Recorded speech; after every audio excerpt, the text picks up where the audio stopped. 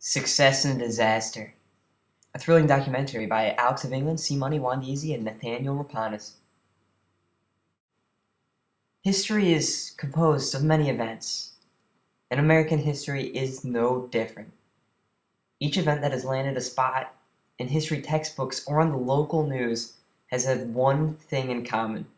Each of these historical events can be categorized as a success or disaster.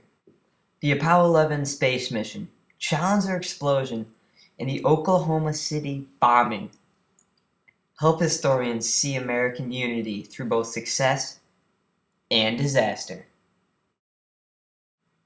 An example of American success is the Apollo 11 space mission. It was such a pivotal moment because it was the first time humans had ever set foot on the moon. On July 20th, 1969, hundreds of thousands of Americans watched as the Saturn V SA-506 rocket took flight from the Kennedy Space Center on Merritt Island, Florida.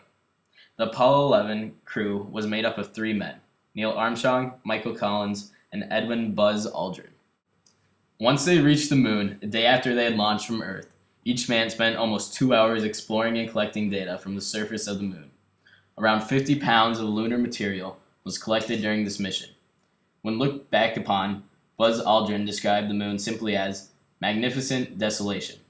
Neil Armstrong is also famously remembered for uttering the words, That's one small step for man, a giant leap for mankind.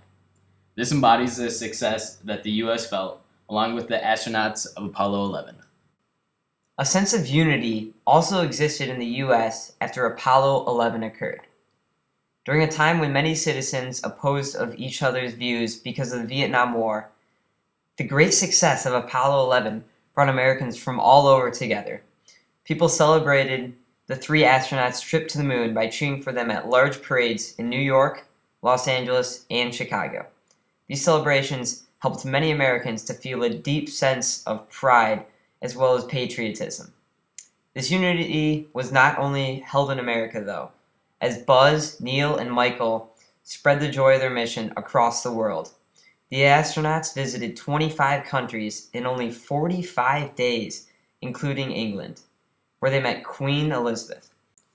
Their daring efforts to visit the moon, along with NASA's hard work, show that U.S. unity can be provided through great successes. Another major space event took place in the 80s. This was the Challenger explosion. Challenger was NASA's second space shuttle to enter into service. It had made nine trips to space since its first voyage on April 4, 1983, before it made what would be its last trip in January of 1986. The last Challenger voyage held seven members in its crew upon launch. One of these members was a 37 year old high school teacher from New Hampshire named Christa McAuliffe. She had earned her spot in the crew through NASA's Teacher in Space program. Before the mission, she reflected how Apollo 11 had inspired her to go into space by saying, I told them how excited I would be to go to space and how thrilled I was when Alan Shepard made his historic flight and when John Kennedy announced on the news that the men had landed safely on the moon, and how jealous I was of those men. Sadly, Christa, along with the rest of the Challenger crew, was not able to achieve their goal of reaching space when their shuttle instantly exploded only 73 seconds after takeoff. This left millions of Americans and other people worldwide who were watching in complete shock. With the nation devastated, Ronald Reagan ordered a special commission to investigate the cause of the Challenger space mission explosion. What this investigation found was also shocking. It turned out that Morton Thiokol, the company responsible for designing the rocket, ignored warnings of issues that may take place upon launch. NASA managers also knew of these potential issues, yet failed to report them.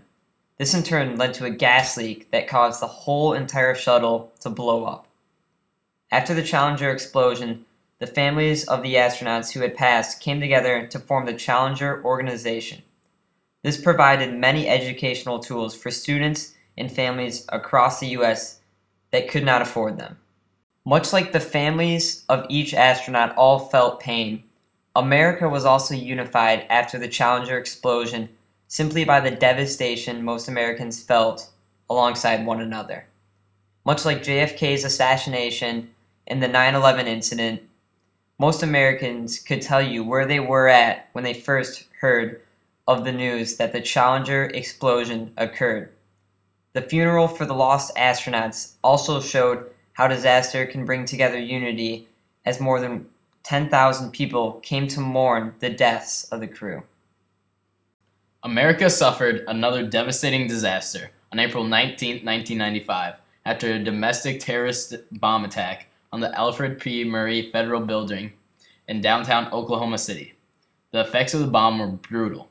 168 people were killed, over 680 people were injured, and 324 buildings within a 16 block radius were damaged, causing an estimated $652 million of damage. The bombers were Timothy McVeigh and Terry Nichols, and they performed this horrible act because of their hatred toward the federal government and the mishandling of the 1993 Waco Siege and Ruby Ridge incident.